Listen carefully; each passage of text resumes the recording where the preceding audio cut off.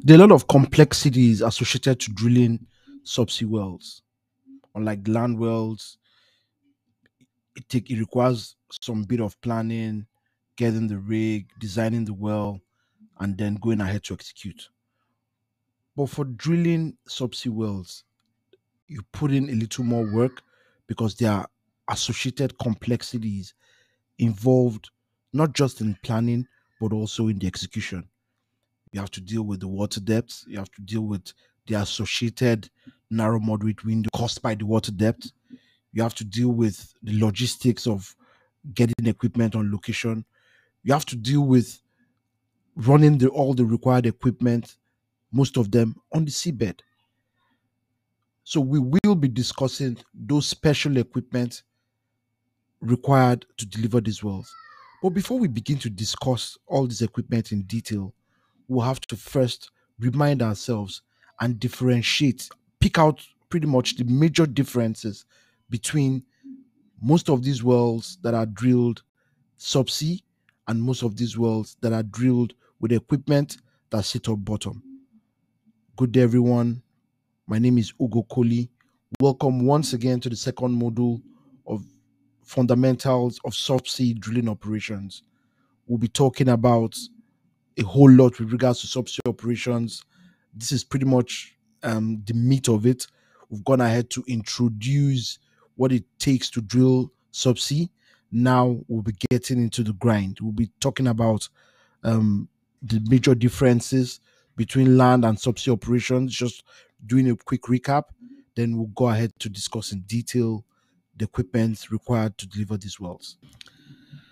So, um, as we proceed, please do not forget to like, subscribe, and share. Moving right straight into it, um, on this slide, we'll be looking at the objectives and deliverables. What do, what and what do we want to discuss? Want to know the associated equipment required for drilling subsea? Want to understand the uses of this particular equipment? The outline for this particular presentation will be we'll be looking at pretty much a review of the location and equipment categorization. We'll then go ahead to look at land rigs or rather land operations and bottom supported rigs. Looking at that, we'll see that there, there, there are some sort there's some sort of um, similarity with those two operations. So we'll just be looking at that. We mentioned in our last module, just be doing a quick recap. Then finally, we'll be introducing the equipment for subsea well construction. In black, you see that everything in black are is the offshore terrain. So we have the swamp, shallow offshore, deep offshore, ultra deep offshore. It's all in black. In blue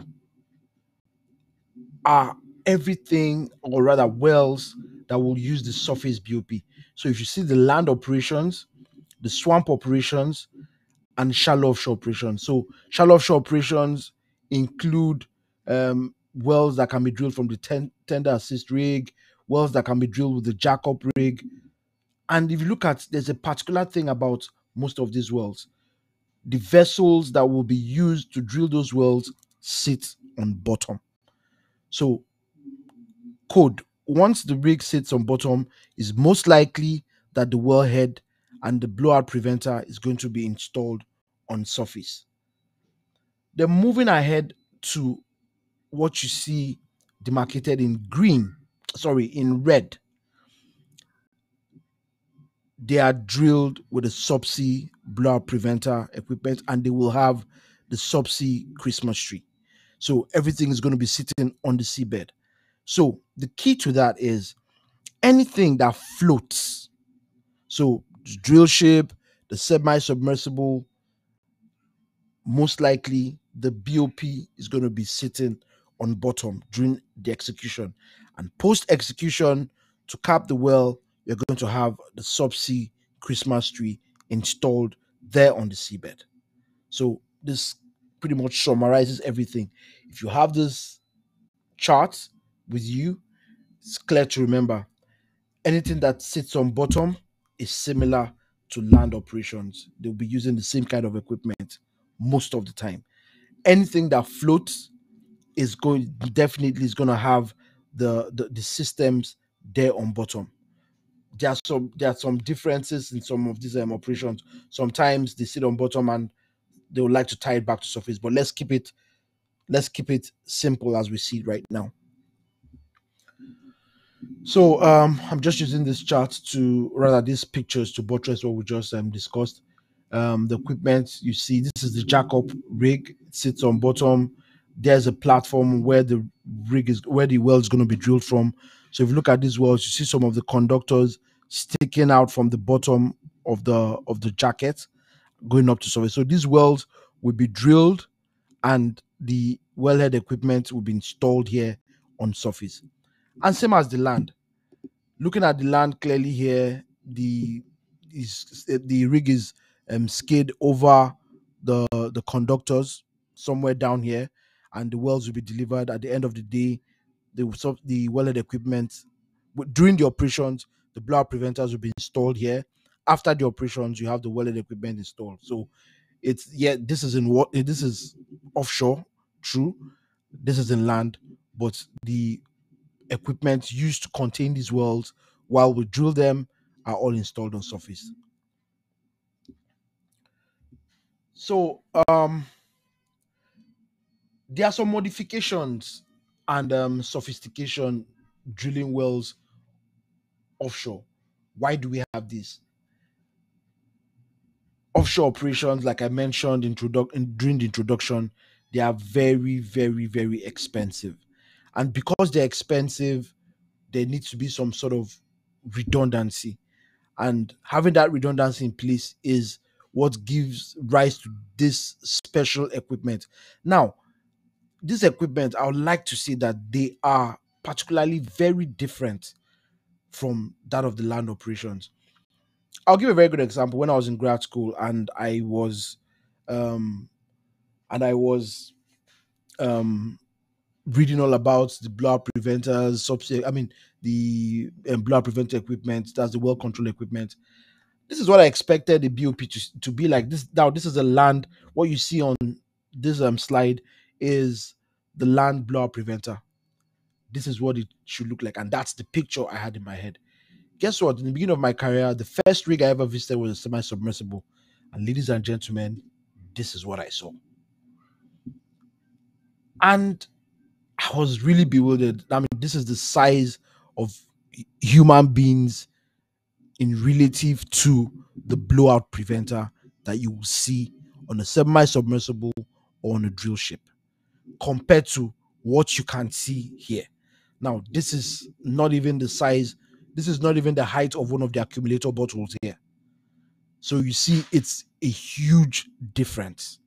So, yes, it's the same it's the same basic, it's the same background, they do the same job, but there needs to be some sort of redundancy when you're drilling offshore. Why? You have a, I have a problem with any of this um equipment while drilling on land.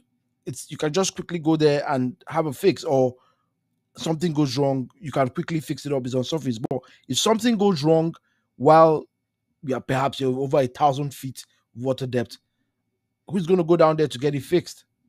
Discussing this special equipment. Where do we use them?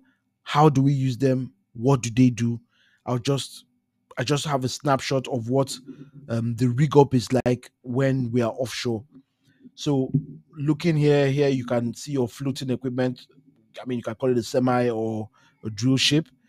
The connection from the rig, you're gonna have a riser all the way. The rider is the riser is your conduit all the way from um, the the vessel to the seabed, and as it goes to the seabed, at, at some point, it is connected to the blowout preventer, and all that is connected to either your temporary or permanent guide bases, which is connected to your um, with the H4 connector system connected to the high pressure wellhead housing, and through all that, you drill your well. So as you're drilling, everything is going through the annulus of the well all the way down to all the casing joints you've rigged up, you've um, installed, all the way through the riser, all the way to the solid control equipment somewhere on this rig. So this is what the whole connection looks like, unlike what you have on land. What you have on land is less, less, it's not as not as sophisticated as what we have here, but similar.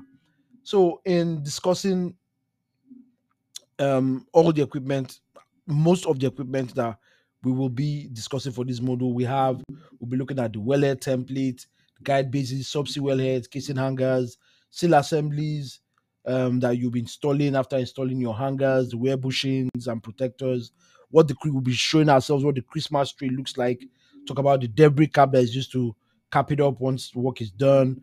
We're looking at tieback systems, mudline suspensions, the BOP stack, marine risers, tensioners, and um, the wave compensator. So these are the equipments that we'll be looking through, we'll be running through while discussing subsea and subsea um, equipment. The reason why we are doing this is as we're discussing this as we're discussing this equipment understand how they are, de- they, are being, they are being used and deployed. It will give us uh, a good understanding of how subsea wells are delivered thank you everyone continue to like to continue to follow us on the channel ask your questions share like and please don't forget to subscribe Thank you once again for watching this video to the end.